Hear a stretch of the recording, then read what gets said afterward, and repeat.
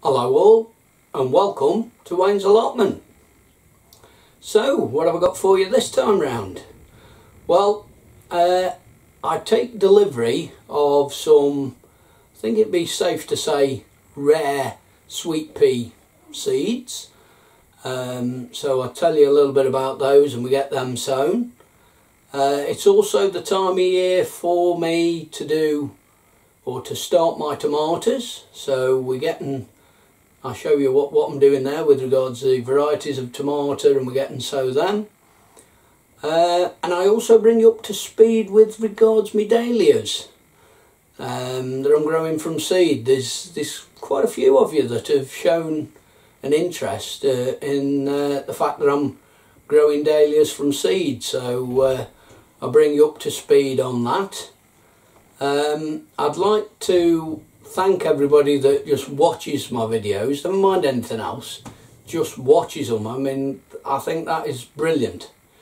It really is. It's nice to to know that there's a lot of people out there who are interested in what I've got to say and what I'm showing you.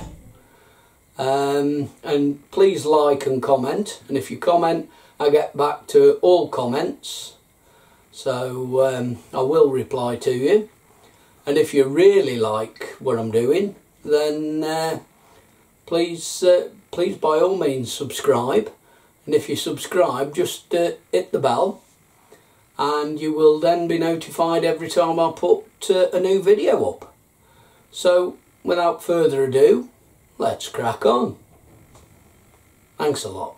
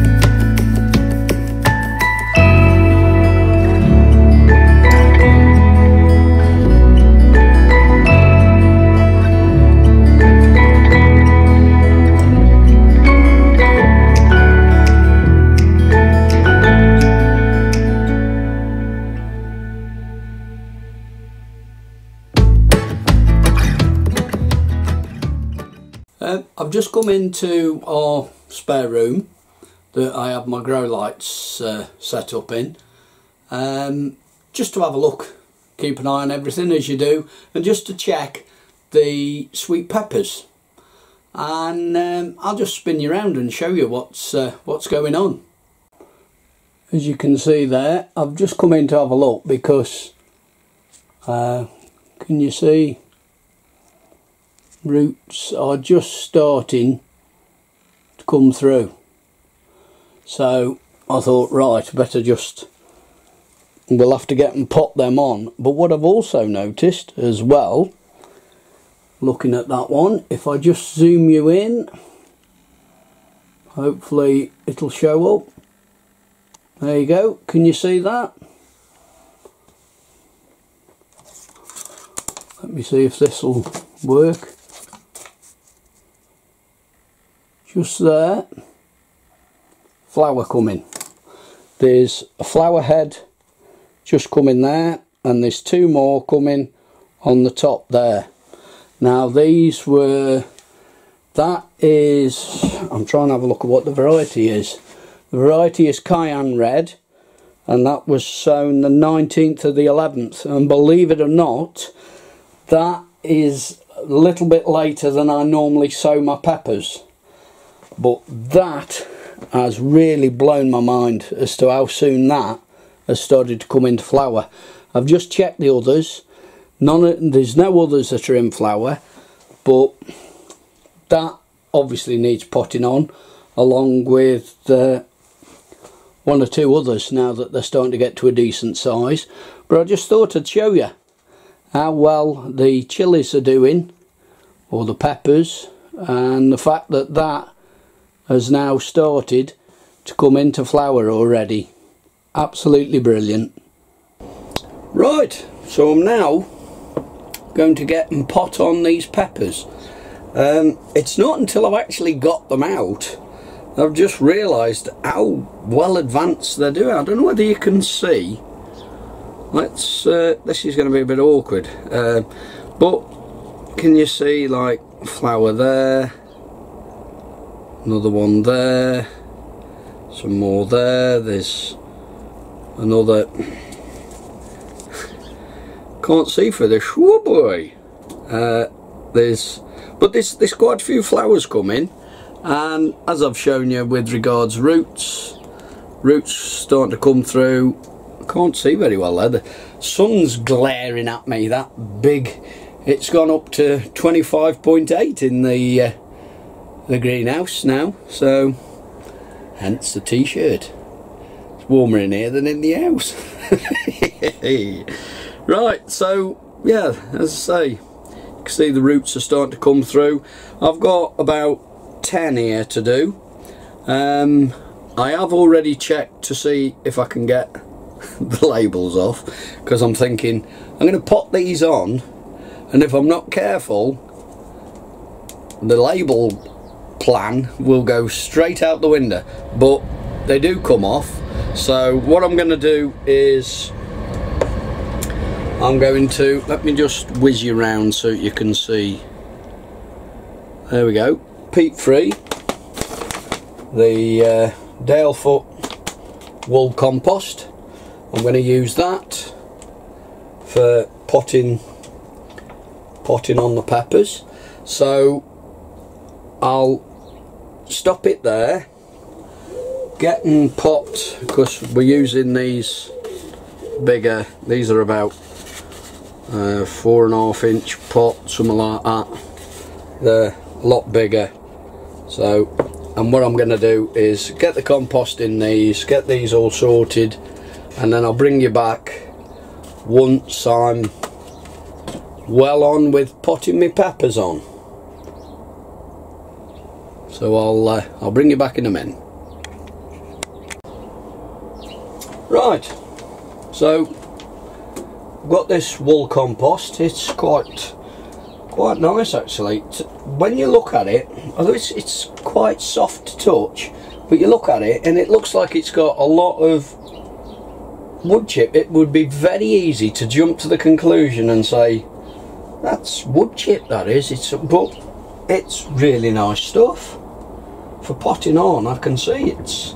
So what I've done, I've just put a little bit in the bottom of the pot. I'm then going to get this pot now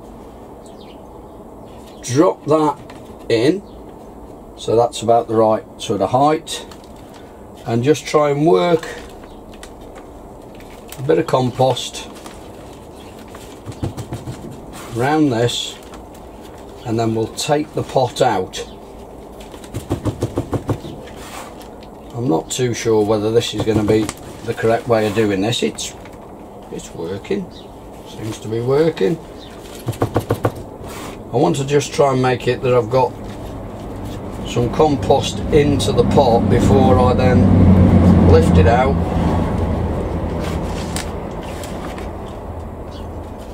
I don't want I, the secret is I don't want to go too big of a pot.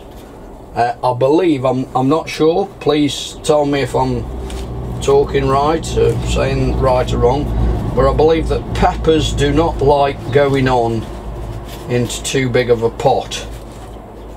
So let's see what happens. Yeah that's that's not bad. So we'll take that out. This will give us a chance to have a look at the have a look at the root oh look at that. Can you see? Look eh? What a nice root ball there is there. Oh I'm very very pleased with that. No wonder it's uh, in flower. Right so we'll put that in. We'll firm that down nicely. These will these will go back under the grow lights uh, and they'll be they'll be left under the grow lights. We'll now take the that's a good reassuring sound of the label. Let's uh,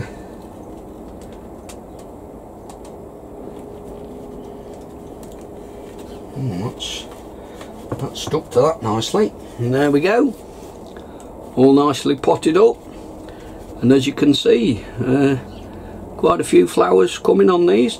So I will now get on and do the rest. There's all sorts, of sweet peppers and everything here. So I'll get all these done and I'll bring you back once I'm finished. Okay, so there we have it. All all labelled up. They're not bad at all. And I've just noticed this is another one. Don't know whether you can see very well there. I can't see the screen so well. But again, that's another one that's in flower but yes we're uh, they're all potted up now they'll go back in the house go back under the grow lights and uh, we'll see how uh, to see how well they thrive so that's me peppers all potted up right uh, I may have mentioned a while back about some uh, seeds some uh, sweet peas that I was hoping to have delivered. Well, they've come. Uh, a big thank you to Andy, I think it's Andy 160676 is his uh, YouTube channel. Um, these are uh, a mix of sweet pea that he has developed himself and he's named them after his mother and they're called Hilda's Mix. I got a nice little card from Andy. And as you can see I've not even opened them yet. All packaged up nicely. So we'll have a quick look and just see how many seeds we've got. I uh, I was watching his video. I'm going back now. Oh it's got to be December. Might have been early December. I'm not sure. And um, I was watching a video and he was offering these seeds to anybody that wanted to get in touch and uh, I do like sweet peas so I thought to myself why not so these are really nicely sealed up. I'll have to rip that through and I've it's all, it's all in what looks like um, kitchen roll but it's all been taped up as well. Done a really good job there Andy, thank you very much. And there we go, nothing as you would expect from the di any different really than anything. The sweet pea seeds.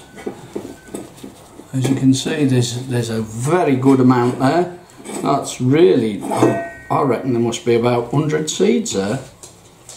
Easy. There's a lot more than you get in some of these packets from garden centres.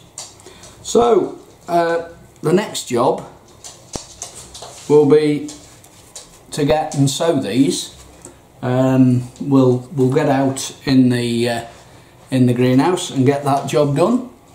Um, and we'll probably use some of that new peat free seed sowing com compost that I've got. But yeah I just thought uh, again thank you very much Andy. That's that's the card that he's uh, more fingers and thumbs there's the card. Obviously a picture of his mother on there but thank you very much. Very much appreciated. Um, we'll get them sown and get them started uh, straight away. Right. Uh, as you can see I've started sowing these are Hilda's mix off Andy uh, the compost is some sieved uh, clover that I've got I'm using it basically because it's here Um, it's it, it's dried out a little, but I've had this. Uh, this is a 24 cell tray. I've had the I put the compost into this, and I've then um, sprayed it with some water just to uh, moisten it a little. Uh, this will then have some this will have vermiculite put over the top. I wasn't going to I was going to just put some ordinary compost over the top but I think I'll put some vermiculite over these so we'll leave those there get some vermiculite on it and I say I think this is quite quite touching that uh, Andy's done this name these after his mother. I think that's that's something to be really proud of. Um, it's it's very good good thing. Shows somebody cares. Let's put a bit more in these will go in the house. They won't go in a propagator anything like that. They will go in the well I was going to say in the same room. They'll go on the bench next to the grow lights so that they do get a little bit of benefit from the grow lights. Um, so I'll give these another watering while they're here. Uh, this water I've just brought out from in the house. Uh, I was going to leave these in the greenhouse and put them under a propagator but I think what we'll do we'll put them straight into um, let's say on the bench let me let me spin you around um, yeah I think what we'll do we'll put these now straight onto the bench next to my grow lights so they'll get some beneficial light. They'll be that little bit warmer. In here it's been uh, minus 2.9 let me just reset that. There we go. It's currently 20.5 in here at the moment hence the t-shirt. Um, it's a bit like being in the house to be honest. So yes that's um, and again let me just show numbered up. Number 34 they're all numbered up. So they'll go they'll go in there. So that's now Hilda's mix sweet peas. I have got some left. I can do another tray like that very easily if needs be. So we'll see how these go. So uh, once again thank you Andy. Very very much appreciated for sending these out to me. Uh, I do feel quite uh, quite honoured that you've um, you've chose to send me send me these seeds. Thank you very much. Well you catch me out in the greenhouse because we're sowing tomatoes. Now I've got I've got some new varieties, one of which I just showed you there. But I've got some new varieties that I've not grown before. Uh, these are two of them. These are from Robinson's. Can you see? There we go. Let's let's be sensible. Red currant and yellow currant. Uh, and they are, as they say, they are currant sized tomatoes. Now, I know you're going to turn around and say, why would anybody want to grow a tomato that's the size of a currant? Don't worry, I've already asked myself that question. But I saw these at Malvern. I, I saw the plants that they were growing on and they were just a mass. They, they did look like a currant bush. They were just a mass of these little tomatoes. And I thought, why not? We'll grow these, even if it's just for the novelty value. You know, think about it, we, we all do our own thing. We've all got our own favourites that we want to grow, um, things that we want to try, and me here have decided I'm going to try those. So they're something new to me, and I think they are something new to the tomato growing world, but I may be wrong, so don't shoot me. So we're trying those. Another new one that is new to me, I've never come across, is Ship Saint F1. Uh, as you can see, I bought these from a National Trust property uh, when the wife and I were out visiting. Um, they were at a reduced price, and I thought, why not? Let's let's have a go. So that's something new. Um, a favourite from last year that we're doing this year is Crimson Crush. They're very good blight resistant, did very well in the greenhouse. I'm going to grow some of these in the greenhouse and I'm going to put some out on the plot as well. So that's another variety. Um, what else have we got here? Ah, yes. And then we've got Moneymaker. I like these, full stop. Um, I've grown these, I think I've grown, I've grown some of these every year since I've been growing tomatoes and as I've just said, I just like them, full stop. So we're giving them a go. Uh, I'm going to show you some more now that are going to mean absolutely nothing to you but this is a variety that I call Bacardi. Cutting a long story short the winter of 2018-2019 um, when I'd got no tomatoes and we were buying tomatoes from supermarkets uh, we managed to cross a pack that they were quite large and I decided to save some seed out of those and I grew them last year and they were very nice tomatoes and they were going under the title of supermarket tomato. And then last year sadly we lost Bacardi our eldest dog. And uh, I thought what a fitting tribute. I'm going to save seed again and I'm going to call it Bacardi. So so don't go looking in any seed catalogues for for Bacardi tomatoes. I mean, you might you might find them. I will admit I've not looked myself, um, but yes. So that's the story behind those. Um, and what we've done is uh, I've labelled up I'm using these little three-inch pots. I've labelled them up in relevance to the numbers that is for Crimson Crush. See the number so that's 31 and what I've also done I've got here is because of the Crimson Crush this pot has got um, clover compost in it. This pot has got the peat free. And I'm doing the same with the Bacardi tomatoes but all others are being grown in the peat free compost so what I'll do is, because I've got, I'll tell you what, because I've got that one, let's do the Crimson Crush. We'll start with them. So I'll just turn you around um, and show you what I'm doing.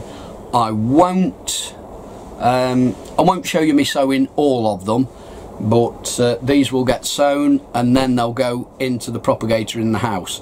So I'll do these first few show you me doing them. I'll bring you back when it's all finished. Right. So we'll start. Again as I say with my numbering process 31 we'll start with these Crimson Crush. Some of these may as well rip that off. Some of these are going into oh that's nicely packaged. Oh never come across that before. That's nice uh, some are going in peat free um, and some are going into uh, some of these are going to go peat free some are going into some clover. I'm going to put only put about 10 or so seeds. Try to space them out a little give each seedling a good chance to get going. I've got several packets of the Crimson Crush.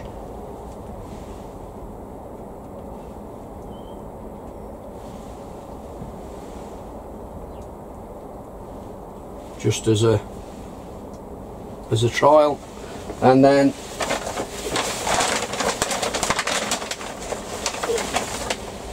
sprinkle over the top with vermiculite. And that's that's the first of those done. I will now get on and do all the others. And once I'm all finished I'll bring you back and show you what uh, what we've got. Okay so there we have it they are the tomatoes all sown sorted and ready for this year. As I say there is Crimson Crush, Moneymaker there's the Bacardi my own variety uh, Ship Saint and um, some red currant and some yellow currant in there. They will now go into the house they'll be watered with the water in the house because it's going to be a little bit warmer than in here. At the moment the temperature in here is 13.1 degree. It's been down to minus 3 um, but uh, things seem to be doing okay in here. And uh, yeah we'll get these in the propagator and we'll see how they progress um, along with of course doing the experiment of some in seed sowing peat free compost and some in some sieved clover compost. So it'll be interesting to see how we how we go on. Well I've got something a little bit different now that we're uh, going to be potting on in the, the greenhouse here. Um, wife's been out shopping and so on and she's come back with this from a garden centre at a greatly reduced price. It's a dwarf pineapple plant and this, I'm not sure, shoot me if I'm wrong, but she said something about these give off more oxygen or whatever than any other house plants and um, I don't know, I didn't quite I didn't quite sort of twig to everything she was saying. Uh, you know only listening like with one ear really but you know how it is. You know what it's like. But uh, it looks like it needs potting on a bit. It's in so I'm gonna go up a size slightly. I've just had a bit of a look on the internet with regards the compost for these and uh, it looks like it can be almost anything so long as it is very free draining so I'm going to use um, some of that peat free that I've got. Um, I'm going to also put some uh, vermiculite and some perlite in it. Give it a good mix and uh, we'll get and pot it on and uh, we'll see how it goes.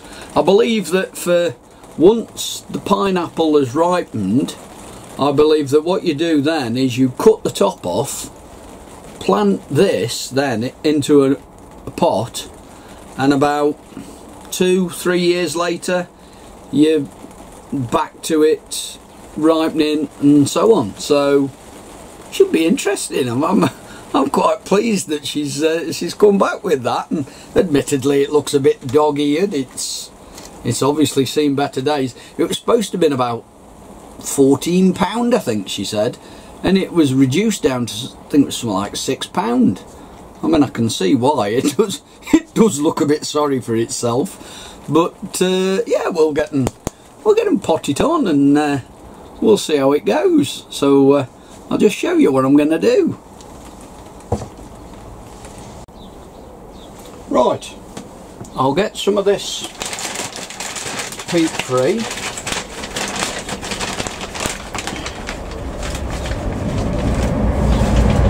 only, we obviously only want a little bit because of what's uh, with regards what's in the, the plant already. Let's put some of this vermiculite. We'll put a fair bit, fair bit of that.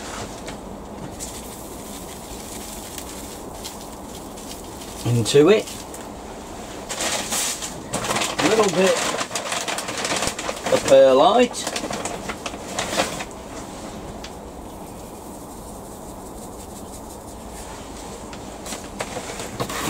Mix that all together. Uh, as I say, I've, I've just had a look on the uh, the internet with regards uh, what to do about this sort of plant and uh, it was uh, it all seems quite straightforward so in fact I'll just mix that little bit of uh,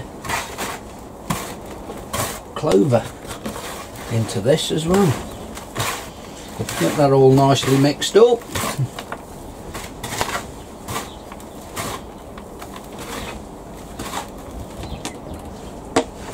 bamboo there.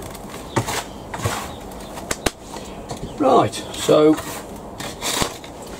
we'll just put a little bit into the bottom of the pot. We'll get this out of here. It looks quite dry to be honest. You can see there's a bit of roots coming through so yeah can you see not too bad. I'm assuming that's quite a good root ball the, these exotic plants are a little bit out of my league to be perfectly honest. It's not the sort of thing I'm used to growing. Uh, not that I don't want to. Um, it's just having having time to do to do everything to be perfectly honest. Right let's get that worked in. I don't want to I don't want to ram too much too much in. Take a bit of that out. Leave that level with the pot. There we go I think that's it. There we go. All potted on. Well that was a bit of summer to nothing wasn't it? So there we go. One pineapple or dwarf pineapple plant potted on. So we'll we'll see how that goes. The wife's even bought uh, a nice ornamental pot to put this in for it. So she's uh, she's been prepared. Let's put it that way. So yes, that's it. Um, dwarf pineapple plant. Just something a little bit different for you there. Hope you enjoyed that. Right, as you've uh, already seen in the video, so far. Uh, my dahlias, you've seen the dahlia seedlings, how they uh, are coming along and quite uh, doing quite well. Well, I was out uh, shopping with the wife yesterday. We were in uh, Aldi doing our usual weekly shop and I came across something and I thought, yeah, why not? I'm doing it again and I just impulse buying. Um, but here we go, I'll show you. Dahlias. yes, I bought some dahlia tubers. Now, what we've got, I don't know why they're so different, but still, I picked that up and as you saw, was 149. I thought, you know, got to be worth a go and what I've got is three three tubers one that as you can that's quite well on the way of uh, shooting. And so well that one is. And that one's just starting to get some little shoots. I don't know why it is that that one's sort of all stumpy. I suppose it's the type. And these two are sort of much longer tubers. But I thought to myself I thought I'll get them. Now as I say got them yesterday and now that they are um, starting to to shoot if I'm not careful uh, the tubers are going to dry out or at least that's what I think. Correct me if I'm wrong please because dahlias to me although I do like the look of them this year it's all new to me growing them at all. Full stop whether it's from tubers whether it's from seed or whatever. I did pick up last year one dahlia plant at a reduced price. It was in flower when I bought it and that remained in its pot. Um, and at the back end of last year once it had finished flowering and starting to die back that was all cut back. It's been covered with some compost and kept cool so we are yet to see if that starts to shoot again or not. But when I saw these I thought well yeah why not? You know. So what I've done uh, well let me just spin you around and show you what's occurring. There you go. What I've done there is that is peat free uh, with a little bit of perlite and vermiculite added to it. Not a lot, there's, there's not a great deal. Uh, in fact it's, it's some of what was left over from doing the pineapple plant. So what I'm going to do, I'm going to put about half fill that tuber I'm then going to the I'm going to just put that in with a bit more added round it. Just leaving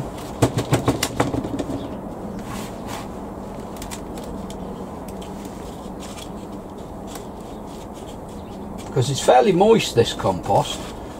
So I'll just firm that down a little and I'm going to leave that like that now.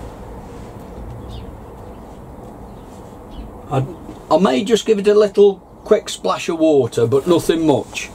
And uh, using these slightly longer pots or deeper pots we'll put these in.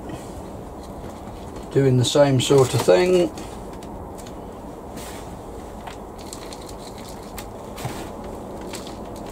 as I say I saw these in the shop. Um, and I thought to myself I thought why not? You know it's uh, I'll just firm that down. Maybe they need to go into a slightly deeper pot I don't know but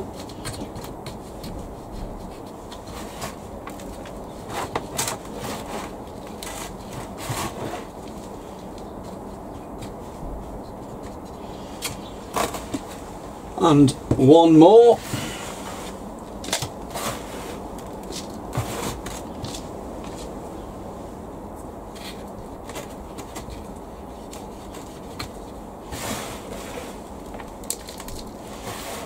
Again as I say I'm using the um, Dalefoot peat free. I don't want to cover them just want to leave them shoots just sticking through slightly. Uh, yeah, I'm using this Dalefoot peat free wool compost. I do quite like this, the seed sowing compost is quite nice as well by then. There we go, so we've got them, we've got three done there, because uh, that's what comes in these packs. Um, and I might just give them a bit of a bit of splash of water and um, move them maybe move them back into the house now that they've started to to shoot. Um, I have got I've got somewhere where I can keep them so that won't be too much of a problem. So yeah I thought when I when I saw that and I thought 149 for three tubers and I like these pom-pom so thought why not? Let's uh, let's give it a go. Well that's it for this one. Thank you all very very much for watching. It is very much appreciated. Um, the sweet peas that I've had that I had from Andy I did say I was going to uh, sow them in um, some uh, peat free compost and I ended up using the clover. Uh, put that down to idleness. Simple as that. I um, the the clover was there on the bench and I thought I may as well use that and just I just cracked on as you saw. Just got on and did it. Um, yes I will say now there's a lot of uh, this video's contained a lot of seed sowing and potting on but it's all as I've been able to do for the last couple of weeks really we had uh, what two weeks ago we had Storm Clara was it? Clara, something like that. Clara, I think. Uh, weekend just gone we've just had Storm Dennis. Uh, it's not, uh, I have been round the allotment but only to top the bird feeders up. That That's it. I've not been able to, to do anything else. Uh, I've not seen any more damage round on the allotment. Um, bit more flooding uh, mainly on my plot. I've noticed there's a couple of areas that have uh, holding a bit of water that I've never seen them never seen them underwater before so um, that's really put the kibosh on me uh, trying to get anything done round there really. I'm just hoping now that we're going to have a bit of decent weather for next few days. Um, if you like what you've seen please give it the thumbs up give it the old thumb up. Uh, leave a comment. All comments I do uh, I do reply to. Uh, and if you really feel the need then uh, subscribe and uh, just uh, hit the bell. And then every time I put a new video up you'll be notified. So without further ado we'll go. That's it. Finished. So thank you all very much again for watching. And until the next time look after yourselves look after each other. And I'll see you in the next one. Thanks a lot